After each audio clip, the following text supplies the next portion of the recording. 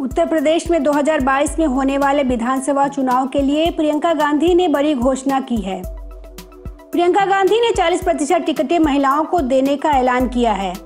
ऐसा माना जा रहा है कि प्रियंका के इस ऐलान के पीछे एक राजनीति है, क्योंकि हकीकत तो यही है कि कांग्रेस को विधानसभा चुनाव के लिए उम्मीदवार नहीं मिल रहा है।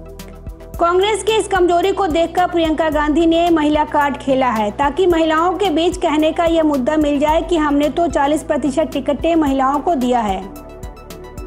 प्रियंका की इस घोषणा पर रायबरेली सीट से कांग्रेस की विधायक अदिति सिंह और बहुजन समाज पार्टी की मुखिया मायावती ने जोरदार पलटवार किया है। अदिति सिंह ने कहा कि 40 प्रतिशत टिकटें महिलाओं को देंगी तो यह तो बहुत अच्छी बात है। इस बात से इनकार नहीं कर सकते हैं कि बहुत अच्छी पहल होगी। बशर्ते उनको फालतू की टिकट ना दे। अमूमन क्या होता है कि महिलाओं को ऐसी सीटों पर टिकटें देते हैं जो बहुत टिपिकल सीट होती है, या वहाँ से जीतना बहुत ही मुश्किल होता है। उनको ऐसी सीट ना दे जो सुसाइड सीट होती है, जहाँ पर जीतना ही नहीं होता है। बलि का बकरा बनाकर भेज दिया जाता है। अदिति सिंह से जब सवाल पूछा गया कि क्या 2022 के विधानसभा चुनाव में वह प्रियंका गांधी के हाथ मज़बूत करेंगी इस पर रायबरेली से विधायक अदिति ने कहा कि वो पहले अपने हाथ खुद मज़बूत कर ले।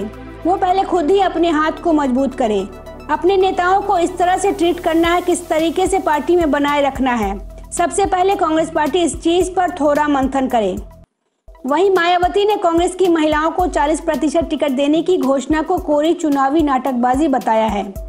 मायावती ने कहा कि कांग्रेस जब सत्ता में होती है, वो उनके अच्छे दिन होते हैं तो इनको दलित, पिछड़े वो महिलाएँ आदि याद नहीं आती। अब जब उनके बुरे दिन नहीं हट रहे हैं तो पंजाब में दलित की तरह उत्तर प्रदेश में इनको महिलाएँ याद आई हैं। इन्हें 40 प्रतिशत टिकट देने की घोषणा, इनकी कोरी चुनावी नाटकबाजी है।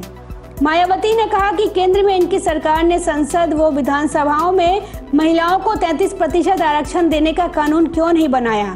उन्होंने कहा कि कांग्रेस का स्वभाव है, कहना कुछ, वो करना कुछ। उन्होंने कहा कि यूपी में देश में महिलाओं की आधी आबादी है।